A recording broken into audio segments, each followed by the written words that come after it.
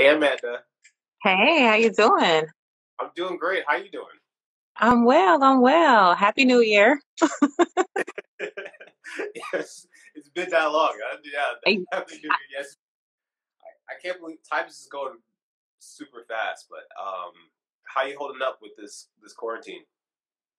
Um, you know, I'm doing okay. Um, actually, business has been booming because everybody wants to be online right now. So it's kind of crazy. Yeah, it's uh, it, it's pretty nuts here. Like I find myself doing a lot more stuff on social media than I than I've ever done before. Mm-hmm.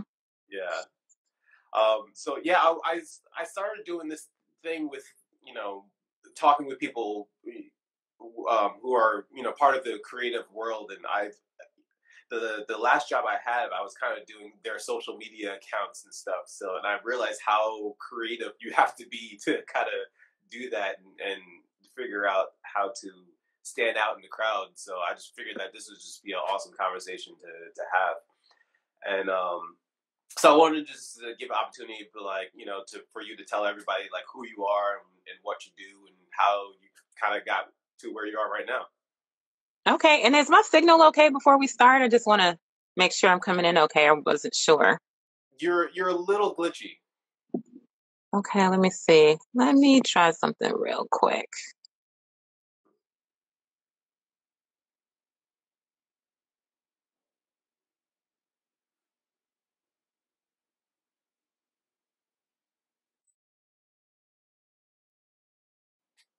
I sure seem like a delay. Do you want to invite me in? Do you think that will work?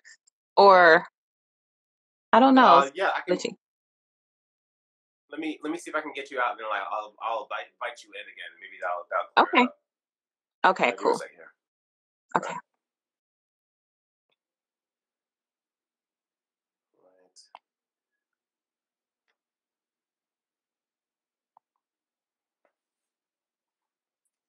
Let's give that a try.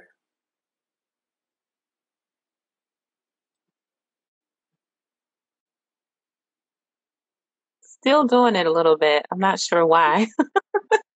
Yeah, it, it's strange, but it's all right. I think we can make it work.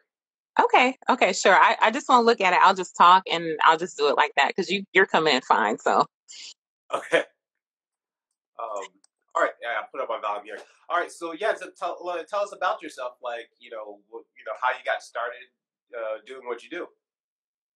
Okay, so um, I have a background in marketing. I was in corporate, and then I went to the nonprofit world, and so um, I just saw this this huge gap that was happening with artists and marketing, and it was um, it was pretty sad, you know, seeing press releases with misspelled words and seeing EPKs that were not properly formatted, and I'm like, oh my God, what's going on here? And so I had went to school for journalism, and um, I was also a singer at one time, so all my friends would say, you know, hey, can you do my flyers and my press releases? And I was like, no, but you know, you got that nagging feeling where you're like, I should probably do this to help them out anyway. You know what I mean? And so Yeah.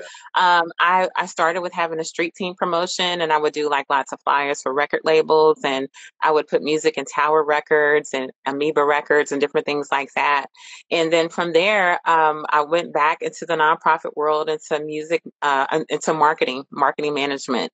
And then I decided, um, you know, after there was a layoff, I decided I didn't want to do that anymore. And I was just going to, you know, do music and marketing to help people. And so I wound up getting more into social media, email marketing, and campaigning. And so that's what I do today. Um, I primarily work with entrepreneurs, but I also look at artists like entrepreneurs because, as you know, branding, photography, promotion, all of that still applies. So, um, my goal right now really is to help artists and musicians see that they're a brand and to help them promote themselves.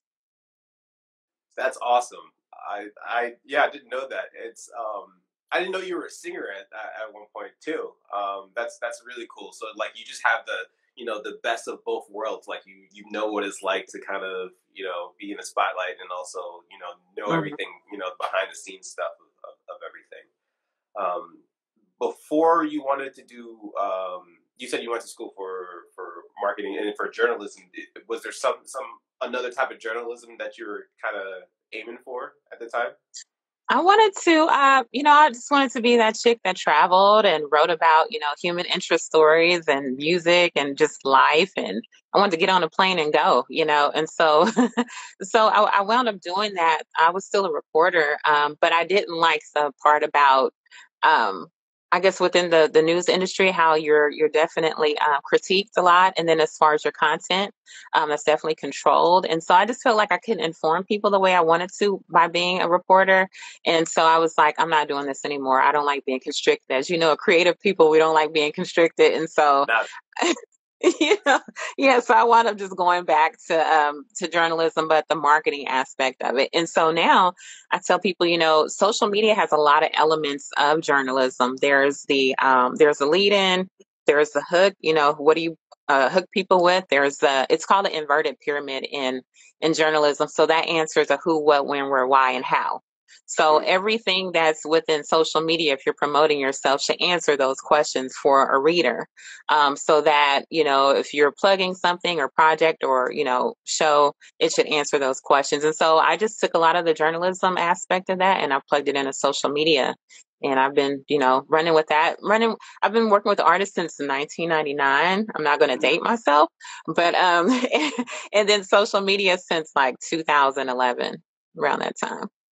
That's that's really cool. Um, what do you think, in your experience since 1999, what do you think is the most? What's what's the thing?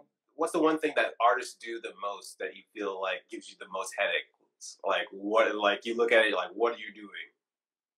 Oh my goodness, I'm so that's such a good question. I'm so glad you asked that. Um, artists to me, to me, they rush. They rush too much. It's like patience is a part of the process. You know, um, all these Fortune 500 companies were not built overnight. And so you look at the foundation. What is your foundation?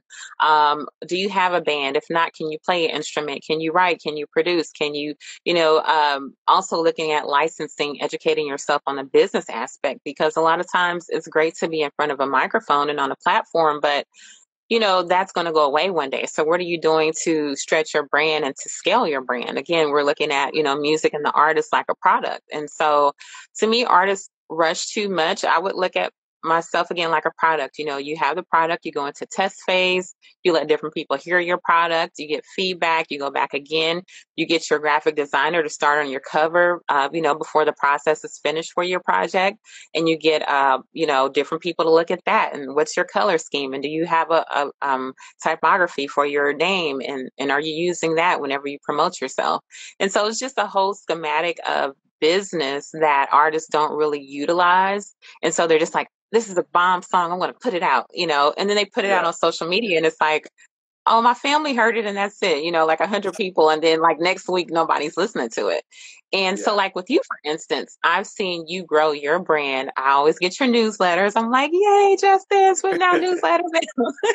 you know, so I'm like always, you know, like supporting and telling people about you. And I just think it's so awesome because, like, even with your branding, um, I noticed with your name and it's like a, a logo type now.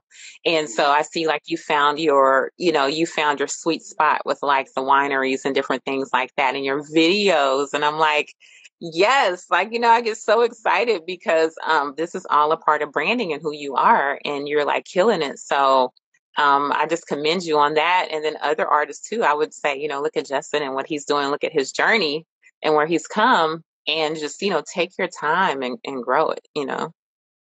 Yeah. Uh, well, thank you so much. I, I appreciate that. I, am glad to know that you know my my hard work's getting noticed from people. But um, yeah, I, I had a mentor who told me that it's like, it, you know, at one point it's just like the dream was, you know, you, you want to, I want to play at Madison Square Garden.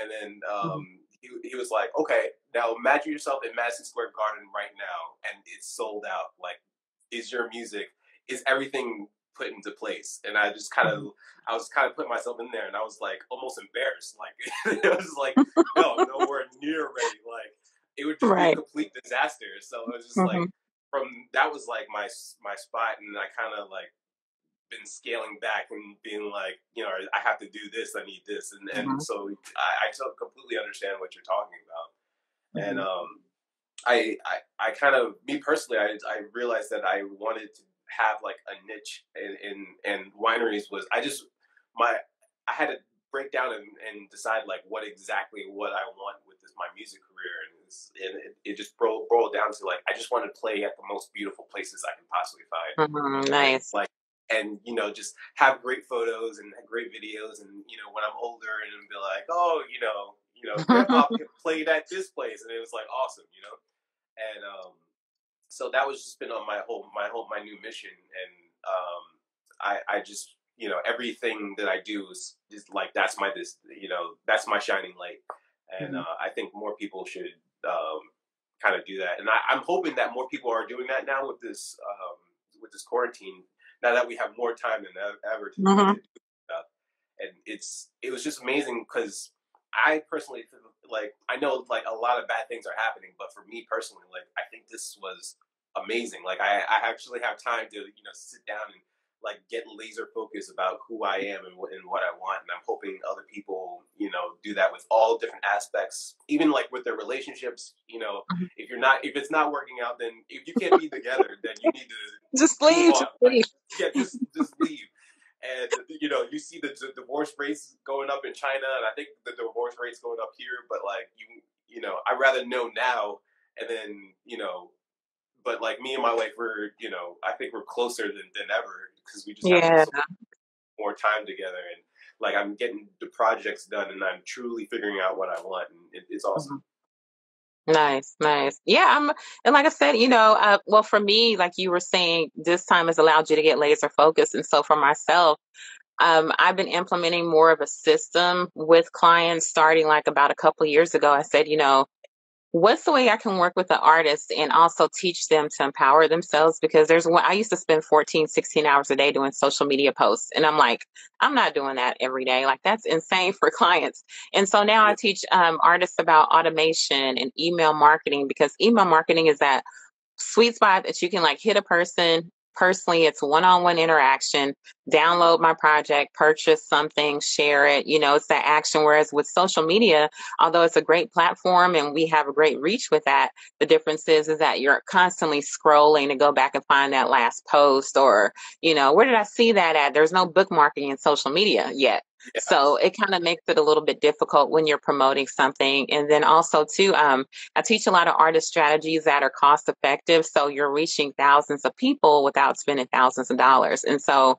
um, for me, that's important. And also too, I recently started a um, a business with Robert Clayton. His name he goes by Trash Can Willie, and I'll have to tell you about that one day. But it's basically because he he'll find music anywhere in a trash can anywhere. And so uh, one of the one of the voids that we saw was that artists are having a hard issue getting to radio as well. And so now with what I do, and then what he does with production, and then with radio, um, we started a business called Frequency Media, and so we'll be helping you know artists get their music to radio as well. And so um, it's just been an amazing time, even though unfortunately, like you said, a lot of people have passed away. I mean, a lot of people in the music industry. I recently moved back here from Detroit, and it's just I mean, it's just devastating, you know, all these legends. And so to me, um, you know, I challenge people to honor these legends that have passed recently and say, you know, put out better music, take your time with music, put out better lyrics. I mean, we saw, and a lot of, a lot now too with social injustices, you know, we see, um, you know, what happened with, uh, you know, there's a whole hashtag run with Ahmaud thing that's going on now with mm-hmm. what happened in Georgia. Out later on, I'll be doing my 2.23 miles, you know, just, just that's my way of contributing. Um, but we saw a lot of social songs, you know, back in the day with Marvin Gaye, what's going on, you know, um, you know, all different types of songs. And so I challenge people today too to put those songs out. You know, I mean, I think the era of like money, hoes, and clothes, I think that's just kind of like it's old. Like it's this really is better. Yeah. You know, I just challenge people to do better in music. You know. Yeah, and I I, I agree, and I, I I'm really hoping that like unfortunately like the most the most the best songs came through the most tragic times and mm-hmm. um you know this is i feel like this is one of the like no matter what how you slice this up i feel like the world has changed. And i'm, I'm really hoping that a, a influx of, of great songs comes you know comes out and um and people get to express truly how they feel. And like you said like stop making like those, those songs. I'm so tired of those songs. I know right? I was talking to my brother, and he's really into trap music, and I have no no problems with trap music, but like after a while, like after the tenth song, and like it starts to sound the same to me, and uh-huh. uh, like it makes me feel like an old man, and I was just like, I don't, I can't do it. And he keeps sending me stuff. He's like, well, how about this? And then he sends me some trap music with some melody and some. I was like, uh-huh. all right, I can deal with this. And like, uh-huh. but um, but but yeah, I totally agree with with what you're saying. Um, how long were you in De- Detroit for? I was in Detroit almost 10 years. Um, and one of the things I love about Detroit that I used to see in the Bay Area was you know how the Bay Area had that independent grind and everybody had a record label and everybody was putting out singles and projects or compilations. Mm-hmm. Um, and so, well, now quote unquote mixtapes now. And so yeah. I saw a lot of that in Detroit and there were, you know, the relationship with artists and venues were different too. Like here, you know, you really have to have your numbers up. People have to have heard about you to be at a venue out here. So you have to find, like you said, your niche or your sweet spot to get into a venue um, that has, you know, a certain number of people. And then there, it's like people are like, okay, we'll put you on, you know, and it may be a venue that has like a hundred people. And then, you know, you just, your, your team, your, your village helps support you and everybody shows up and pays that, you know, 20, $40 or whatever. And I just love the way people like showed up for each other. And I'm hoping to see that again too after this because I miss concerts and I miss, you know, going to support people. But now it's making me feel like I want to support them even more, you know. So like yeah. for instance, you'll see like the quarantine concerts now, couch concerts at home, that kind of thing. And so, I'm, you know, seeing a Cash App or seeing somebody's PayPal, it's nothing to send them five, ten dollars because you would have been paying what forty bucks, thirty bucks to go see somebody. Yeah. So I'm like, send them five dollars, you know. yeah, absolutely. I, have been, uh, you know, all the musicians I've been, I've been talking to and stuff. I've been, you know, I've been buying their. Actually, I'm, I'm wearing a artist shirt uh, right now. Um, but I've been buying T-shirts, you know, albums, whatever they have, just to support everybody, and um, they've, mm-hmm. you know, it's been reciprocated, and it, it's we, I, the music scene, I feel like have have been are closer now than they ever been because we're just all going through the same thing, you know. It's like mm-hmm. that's it's always funny. It's always strange how like whenever there's a common enemy, that's when people get together. the, mm-hmm. you know, uh-huh, uh-huh. enemy being this this shutdown. So Right, right. Um, what I wanted to actually do you what major is there like a major difference uh like in the music I guess it would be a major difference like what how, how I'm gonna I'm trying to think of how I'm gonna uh, ask this question. Just say it. like, do you see like a um, you know obviously in Detroit the the demographic is very different um, in Detroit than it is over here. Do, do you see any, like, do you have any more problems, you know, working here as far as, you know, working in Detroit? I would say, oh, you mean like the difference in, in artists um, yeah. or the industry part, uh, artists? Yeah. Um, I would say, hmm, that's a good question. I would say that there I see more like networking, uh, more so like, hey man, you know, here's like 50 bucks, 100 bucks, come do this set with me. And a person do like a whole set, you know, two sets. Um, mm-hmm. I see more of the flexibility of artists. Um, although, of course, everyone wants to be financially compensated. I do think, you know, that that independent hustle and grind from back in the day where somebody called you up and say, Hey man, come get on this, you know, project and you just hop and go. I remember days like that where, you know, Equipto or Mike, Mar- Mike Marshall, who sung in the last black man in San Francisco, call me up and say, Hey, come sing this hook, you know, and that kind of thing. And I was there because one for my love of music, but two because it's supporting the artist. And then of course, if you're writing lyrics, you know, you have your agreement or whatever. But I think that just the um, not the hesitancy of what do I get out of it, more so mm-hmm. of this is a collaborative effort, you know, and I saw that a lot there. And I won't say that it's not here in the Bay Area, but I would like to see more of it. Um, it and it does come down to when you are an independent artist and that's your financial means, um, that you want to be compensated. Everybody in your band should be compensated. You should be compensated. However, that is where the, the business aspect comes in at, you know, um, there's there's these music companies that are on the stock market. Um, file your name and become an actual business, a LLC, a nonprofit, so that when instances like you know coronavirus happen, your bandmates can be your employees, your kids can be your employees, you know, different things like that. Um, and, and so that you qualify for funding or for music education or education grants. And so, um, and, and another thing too is that I tell artists all the time, and this is kind of diverting from the question, but adding on to it, I guess. Um, I tell people, you know, you're spending money going to the studio and gas, and you're spending money buying shirts and uh, music equipment and this and that, and traveling and, and hotel expenses. All of those are expenses that can go on your taxes as a business and, and as write offs and different things like that. So um, I find that just in general, and this is with just in general in the music industry, independent music industry, is that artists don't take advantage of these um, expenses that they're putting out. You know, you put out thousands of dollars to make a project and you don't recoup any of that because you're looking to get it back from downloads. And sorry yeah. to say, but downloads are not going to get you there. You know, thank God people like Bandcamp are allowing people to have 100% of revenue on certain days, which they'll be doing another one the early part of June. Um, but the thing is, you know, treat your music like a business as well and not just like music. And I think people will see a difference financially with that. Yeah, I mean, uh, that's that's something I I personally just been struggling with. and I've had conversations with a lot of artists, and and I get like I have a big problem with with personally with streaming, and I think that's why I personally haven't put put music on on any streaming platforms, just because like my first album that I did, I did it, you know, it was like eight years ago, and I put it out, and then you know I was listening to a lot of just different gurus and stuff, and they were like, you know, you got to put your music out for free. You got to put your music out for free, and I was like, all right, I'm gonna do it. And then mm. as soon as I did it, it was like instant regret, like instant regret, and I was just like, because it was just. It, it was something that I, I worked so hard doing, and giving something up, you know, just because everyone else is doing it, it was, uh, you know, I, I just hated it. And then, you know, then streaming kind of became big.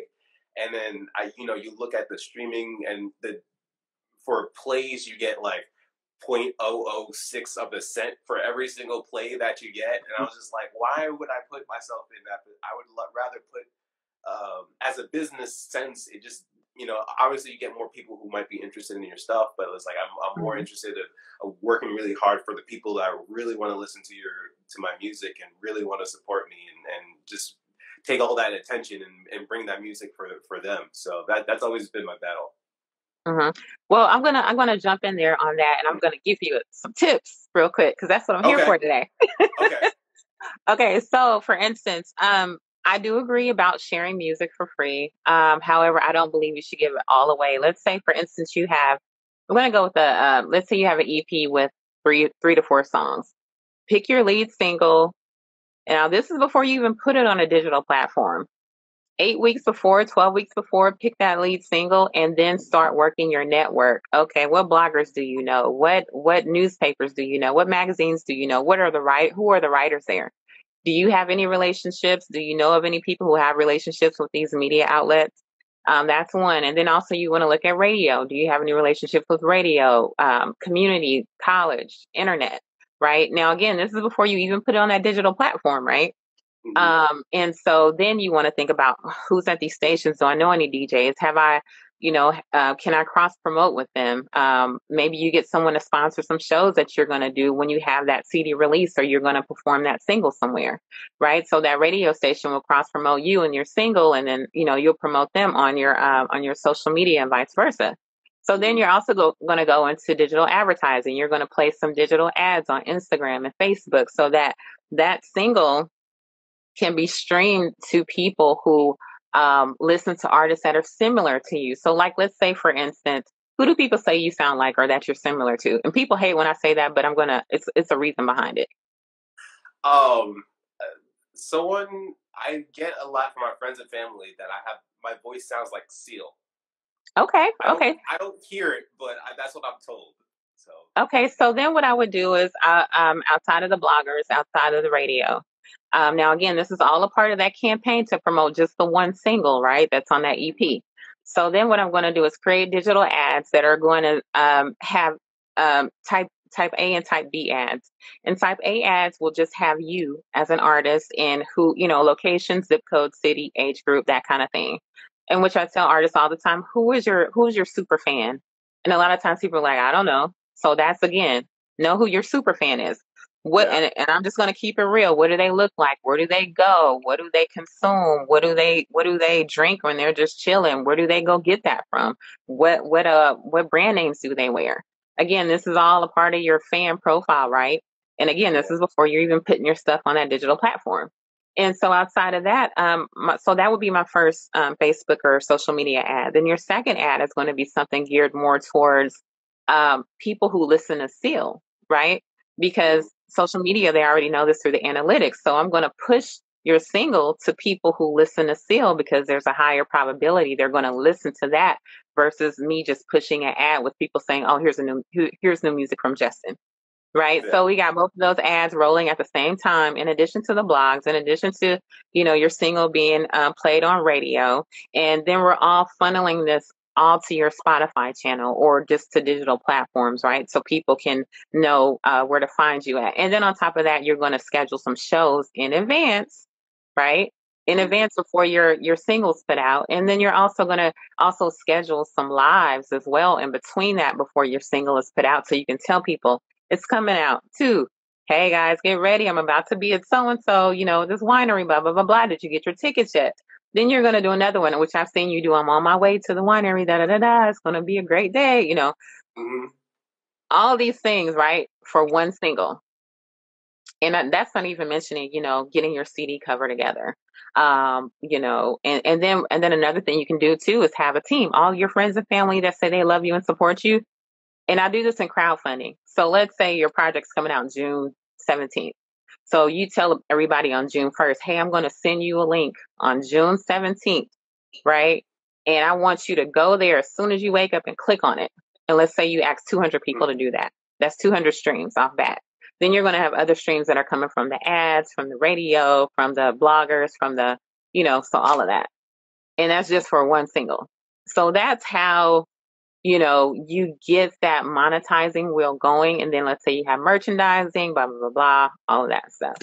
So once you create that wheel around it, and I tell people create a process, um, and also too, you're you're going to integrate uh, email marketing within that. You're going to have some email blasts. You know, Justin Brown singles coming out on June 17th. You know, you can pre-order. Pre-orders are a great way to make money before the streaming comes out, right? Because you know, once you put it out to streaming, it's just going to be free to everybody, right? So if you Yeah. do a pre-order for the entire EP, right, before let's say two to three weeks, two weeks before that single's released, and then let's say when you do uh, the single release, you're going to put out a video or a lyric video, which you can do through DistroKid and different things like that, because you're a great songwriter and you have meaningful lyrics. So I would start putting out lyric videos too. So all of these things in combination with that one single.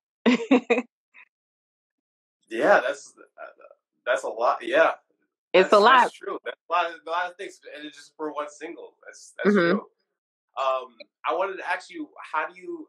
I was gonna ask you about uh, ads um, for musicians too. Mhm. Um, should should people be focusing right now on on Instagram ads, Facebook ads, a little bit of everything? Like, what what do you think would be like the best bang for your, for your buck right now? Well, I look at primarily what channel is the artist most active on. So there's also YouTube ads as well. So if you're you're very you know uh, consistent on YouTube, that would be a great place to run that. A lot of people don't do YouTube lives as well too. So I would Mhm. look at what platform are you most consistent on, and that you have a following on, and that you engage on. Um, and so that's where I would do that. So you can also run, um, and a lot of people don't know about this, but you can run ads also that are just on publications that you look at. So let's say like at night you look at Rolling Stone, you know, online, the magazine or whatever online before you go to sleep or something, right? So I put into my digital ad that people who listen to Seal but also read Rolling Stone magazine, I want your ad to pop up right? Mhm. So that means they're outside of social media and they're scrolling on these blogs and stuff, and your ad's going to pop up. And so that's a higher probability too of people listening to your music as well. So um, it depends on the structure of the ad, and like I said, which platform you're most consistent in. So Facebook, um, you know, Facebook is good. Uh, I love Instagram because it's just got that whole, you know, um, feel of just being like a gallery with the music and the photos and different things like that. But again, your your ad is going to pop up with people where they're interacting the most that you designated your ad to pop up at. So it really doesn't matter if it's Facebook or Instagram. It's going to be who is your target fan. And that's why I tell people that first thing you should do before you put out anything, find out who your fan is. You know, where are these people buying their music from and who do they listen to that are like you? And a lot of people don't like it when I say that, but that's like half the battle right there, you know. So yeah, I yeah, that totally makes sense. Uh, I've been um, trying to find out like my I've been actually bouncing back and forth between every single time I, I I'm thinking about getting rid of I'm trying to like dial down of like the my my platforms and everything, but every single time that I, I I'm about to get remove something like uh, someone adds me as a as a fan, and I'm like, all right, I'll I'll keep it on. so it's just, right. I did that recently with uh, with SoundCloud because I, it was pretty inactive, but I uploaded my music later on, and I was gonna cancel it later, and, and you know, people were like, oh, I like this stuff. I was like, all right, I'll keep it. people listening. but um, I guess it's it's just kind of finding that for me, finding that balance because like I naturally, you know, you want to try to be on everything, but that might not necessarily be good for you. So mm-hmm. um, I've been, you know, trying to to dial dial back. But have have you had experience with with other musicians who keep like who are are like, or do you prefer that everyone like be on everything and like? I mean, like for instance, like TikTok. Like I have no clue anything about TikTok. I love TikTok. yeah. Like I've seen people uploading stuff and like they're putting funny funny stuff in, but I was just like as a musician, like should I you know, put some something up or what do you think? Oh yeah, so I again it goes back to where you most active, um, and I use that with entrepreneurs too. If you're not active, a lot of people don't like Twitter. I tell them, you know, find a friend that's on Twitter that uses it and let them, you know, be that quote unquote person that pushes out your single through their platform. Because again, um, if you utilize people as a team, let's say I'm going to have an audience that you don't have and you have an audience I don't have. So whoever is sharing that on platforms that you're not the best at, that's fine too, because that's still going to cover some ground. So I really look at what platforms you're most active at um, not really too much what you're comfortable with because I'm going to push my clients, right, to do certain mm-hmm. things like lives and um, performing online, which is extremely important these days. And so um, I think definitely, you know, apps like TikTok, um, you definitely should try because you can, artists can promote their music there. You can upload it there and people can do their own TikToks to your music, which is extremely powerful because again, that's showing other people someone's interaction to your music. Right now, we only see one on one interaction, me downloading and, and I'm listening to your music, right? But with TikTok, I can see how someone else is reacting to your music. And so that's really powerful. And then from there, it catches on, right? So let's say you created a, let's, let's just say you created a dance, or let's say um, a winery created a, a drink, right? Um, around your music or was inspired by your music. So you could go on TikTok playing your music and have people, you know, across TikTok drinking this wine that's inspired by Justin Brown music and playing, you know what I mean? Like you can create a whole little thing around it. So, um, so yeah, I think it just really depends on what platform you're comfortable with.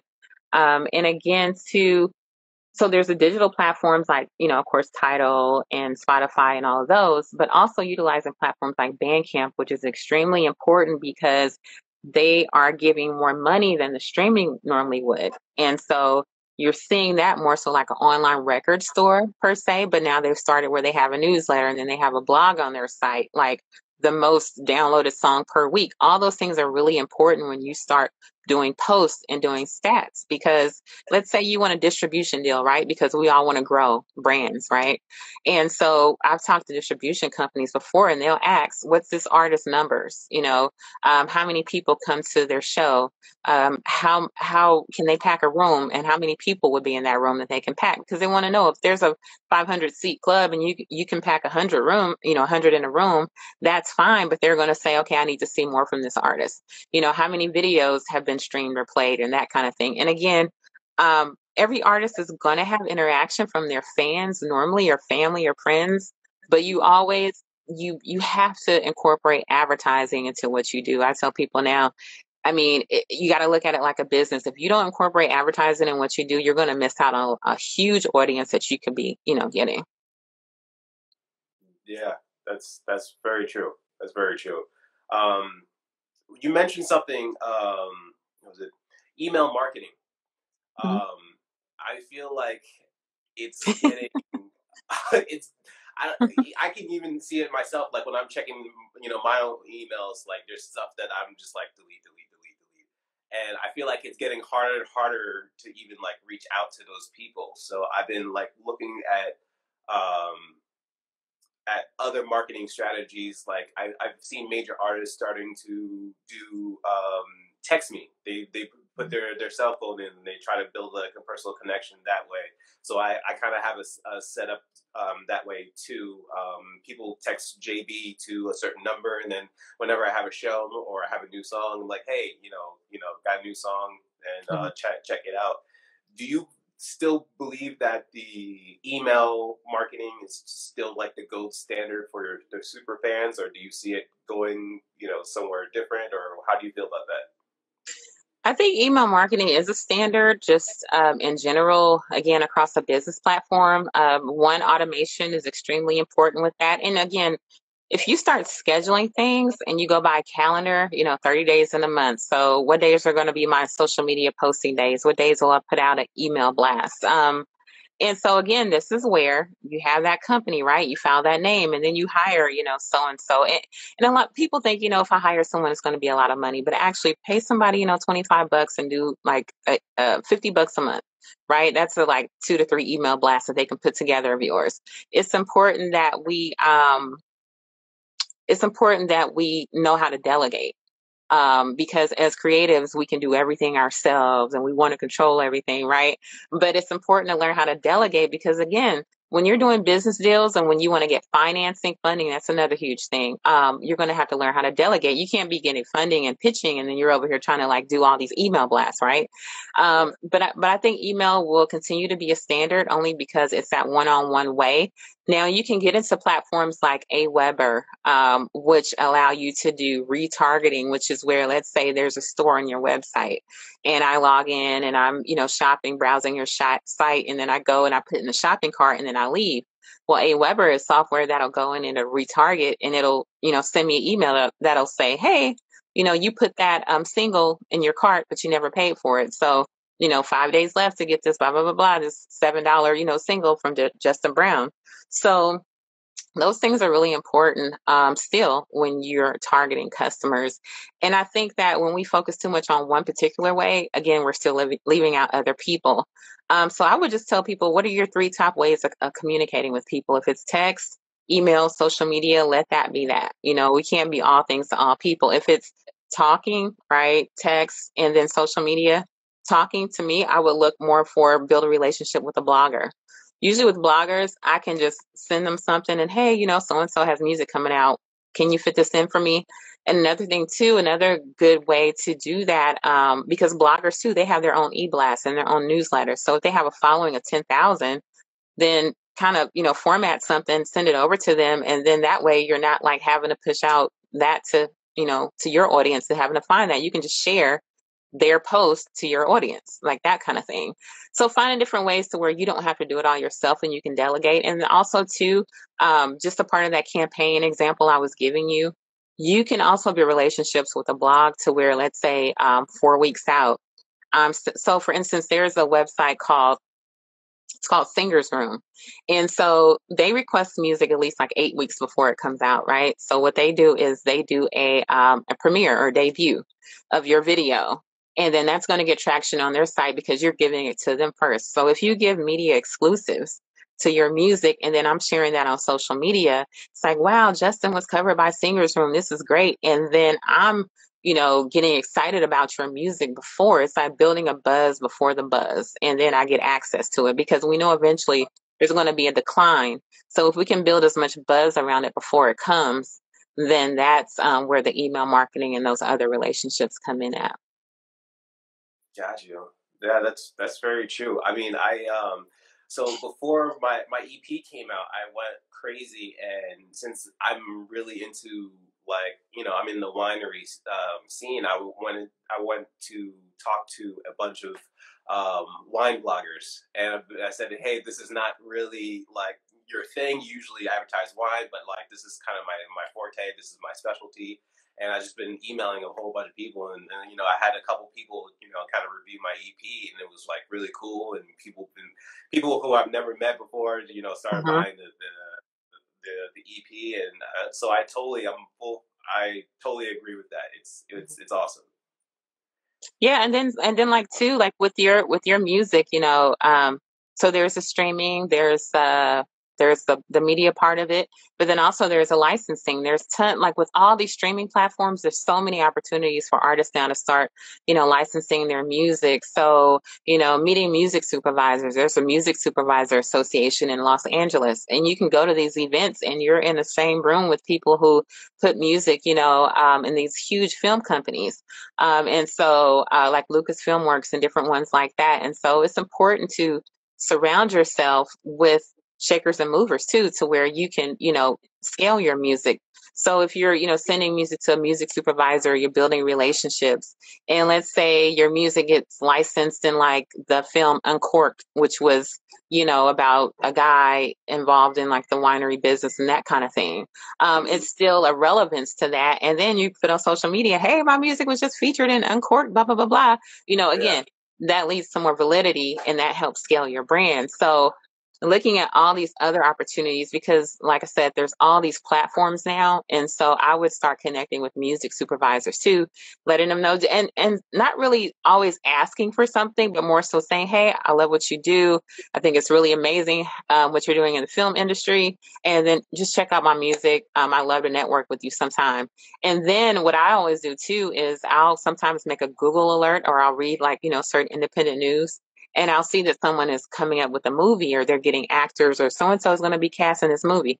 That's when you contact the music supervisor and say, Hey, blah, blah, blah, please check out my new EP. I think it'd be a great fit for your new movie coming up, that kind of thing. And so then when they pick that, um, and then of course you do all that contractual paperwork, then you go ahead and, you know, you'll start getting royalties for that kind of stuff. Oh, that's awesome. I I kind of was thinking about like music licensing, but I haven't really dove into that. But I, I should definitely, especially now that I have more time, just kind of dive in and see see if anything pop, pops up. Oh yeah, definitely. So like with the music licensing, there's the independent films, there's video games. Uh, video games, they like um, emotion based music. So, you know, that music where somebody's running through like a room, a dark room, or somebody's like, you know, seeing their child for the first time or, or getting married, like all that. So that kind of stuff. Yeah. Um, and when you send them an email, you'll say, you know, um, music like like like music based uh, based for weddings or music based for um, you know just action scenes. Like you'll title the email based upon what kind of emotion you you know are sending that music for. Uh, but also too a huge one is reality shows. Um, there are so many different platforms now that are doing reality shows too. I think there's zeus network which is i mean and so people are like well, zeus network and afroland tv and all this and that. But the thing about it is they're signing on people like ray j and Blac Chyna and different ones. So they have a budget. You know what I mean? Yeah. And so let's say you get it on that. And then when you pitch to a Bravo or someone like that, hey, my music was featured on Zeus Network, blah, blah, blah, blah. Please listen to it. I think it'd be a great fit for Real Housewives of Potomac or something. So, so yeah. but that's how you do that. So yeah, definitely. All right, that's real. That's really cool. I gotta. I definitely gotta tap tap into that. Um, and and there's longevity more so in that um, so l- let's say you take some of your old music, the ones that you shared online that you like felt so heartbroken about. take that, take that and use those and use that for licensing because there's no age limit on music. You know, there's no time limit on music. I mean, so it can be something from like five, ten years ago. Um, there was a group one time that went to um, this college in Detroit that I went to in Wayne State. 30 years ago, they were a band and they disbanded, right? And then uh, someone picked up heard, heard their music on YouTube and um and they picked it up for a major motion picture and they all like got lots of money from it, which was crazy because it was a song from 30 years ago. And they were like, yeah. "Oh, that song's never going to go anywhere." And it so you never know. You never know. Yeah, you never know. Yeah, you never know who's listening or who uh mm-hmm. you know, how it affects people. Um I was literally talking to someone just emailed me and she uh, she was like, oh, you know, I lost I just lost my job and I just somehow just found your music and it helped me with my anxiety and like, oh my gosh, wow. like that's so awesome, you know, like mm-hmm. you just never know. Like I'm just curious to see like where my music and everything will how if it could will affect things, you know, you know, in the future from now. So yeah, and I think I think one of the great things about your music is you know, you talk about your marriage, you talk about your inspiration. Um, artists being transparent is extremely helpful when promoting your brand because let's say I'm on SoundCloud, which SoundCloud is great for for breaking new music, for mixes, for collaborations.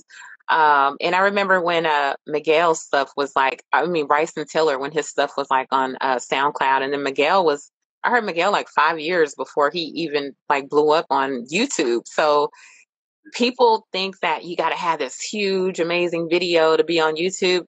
Just have the cover of your CD with like some lyrics so people can get to know you, who you are, what you sound like, what you're about.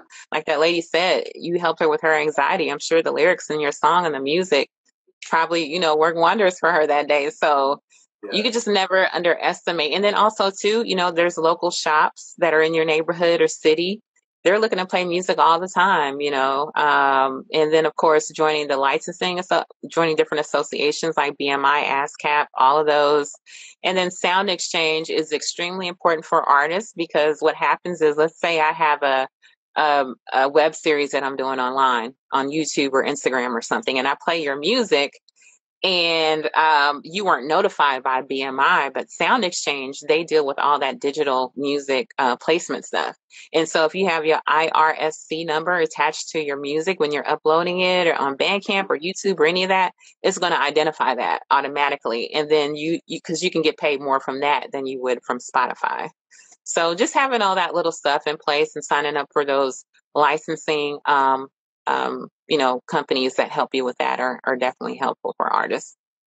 Yeah, it's uh, definitely is. It's it's funny. I like I'm hearing like you say all these things you have to do. I'm just like, all right, I got to categorize. I got to do. It's like so many things you have to do as a, as a musician. It's so crazy. Um, there, there's a quote that I heard um, recently, and uh, like it's my new motto, but um, I forgot who said it, but it was self sufficiency equals inefficiency, and inefficiency equals failure.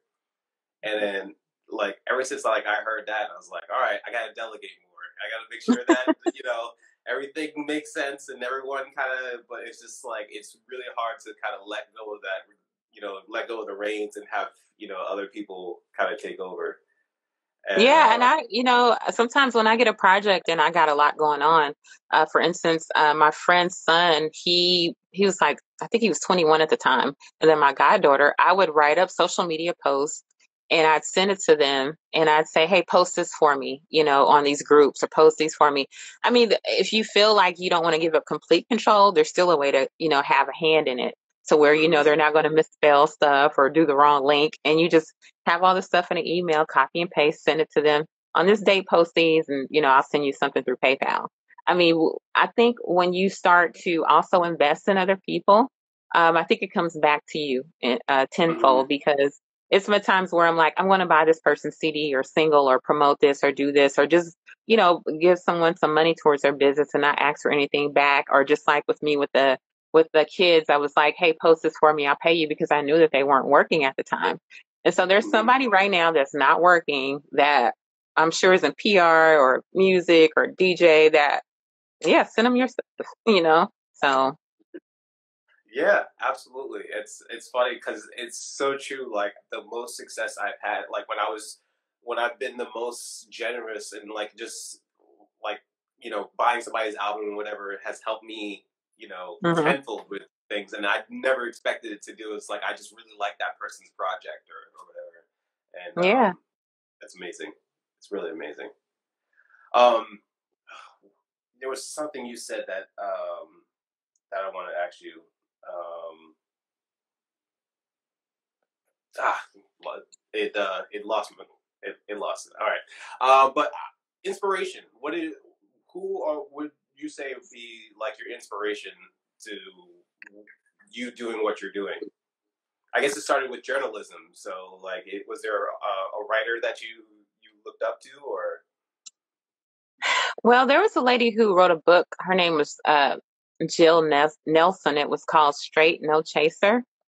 And I loved her. Uh, she was a journalist, but I loved her like just no nonsense style. And so um, I think, you know, different people have influenced me throughout the years. Like, you know, I take I take lessons from like rappers and stuff like Puffy and, you know, uh like Puffy is a or Diddy now. He's a huge inspiration because um anybody to me that can come from like um from having nothing to something and then looking at their business savvy and constantly evolving because I think as creatives, which I once wasn't and turning in a business, you have to evolve, you have to pivot. If you think you're going to just play, you know, guitar and sing acoustic songs for the rest of your life, then you probably are sadly mistaken. So you need to look at, you know, am I going to have merchandising? You know, should I do? I tell people all the time. Um, actually, my partner Rob and I, um, he was telling me, you know, people need to start writing more Christmas songs because on the charts there's a whole category for Christmas songs, and nobody really, you know, takes advantage of that. So for me, I look at people who pivoted in life, who maybe had some downfalls and who came back from that. Um, I look at people like, um, I don't know, just just like uh, like I like Quincy Jones. I like, um, hmm, my mother's a huge inspiration for me. Um, definitely, like to me, real, real examples of people, like I said, who who've gone through life and pivoted and reinvented themselves countless times. Like those are people that have inspired me because I know that going from you know a singer to a writer to journalism to uh, corporate to nonprofit to you know social media and then who knows whatever ever else um, you will constantly learn to reinvent yourself and evolve and you have to and so now, you know, um, for instance, you see a lot of artists who are getting into the tech field and um, it's more than just fashion. It's more than just putting music out there. You have to figure out what your foundation is and what you're going to create legacy with. And so let's say, for instance, you come out with a wine or you create your own winery and now you got like this venue where you can bring in other people and, you know, you can be like the featured act every night if you wanted to, you know, like I think there's yeah. power in that. So for me, powerful people, but people who also face challenges and learn to, you know, pivot. So those have been my inspirations. I, I wouldn't say I probably have just one.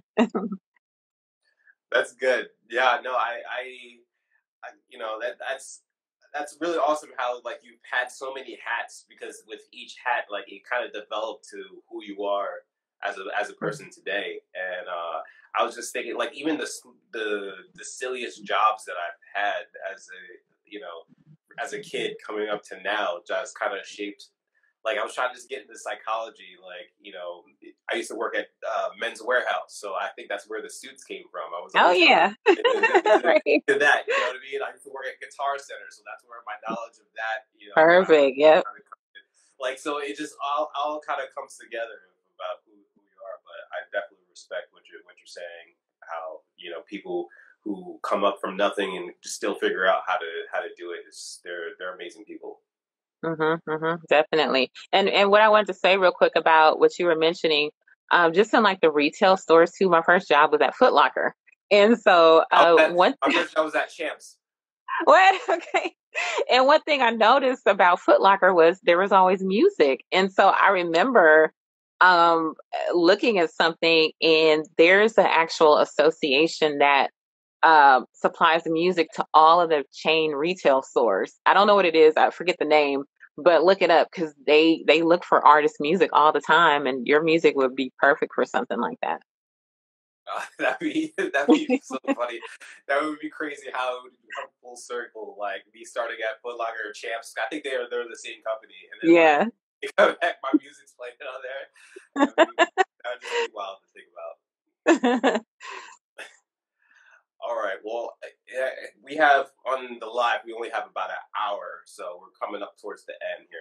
For um, sure. Um, yeah, it's just time kind of flew by, but um, for everybody, this is gonna go on on uh, on my YouTube on uh, on all the platforms too, because okay, cool. Thank you. Putting it out here, so don't worry, I'll tag you and everything. But yeah, okay. Um, why don't you tell everybody, you know, uh, where to find you, uh, if you know if they need help with their their uh, social media and their marketing, and how they they can get in touch with you. Okay, sure. Uh, you can find me on social media and online at Social Marketing by Amanda. That's on LinkedIn, same name, and then my website, socialmarketingbyamanda.com. Also on Facebook, same name. Also on Instagram, the same name. And then also to uh, the business that I recently started with my partner, uh, Rob. And so we are Frequency Media. And so you can um, actually right now we're um, accepting new music for our Spotify playlist.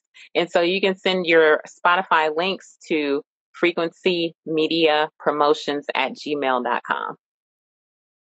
Awesome. Thank you, Amanda, so much for sitting Thank you for having me. Thank you. Of course, of course. We got to do this again another time. But um, for sure.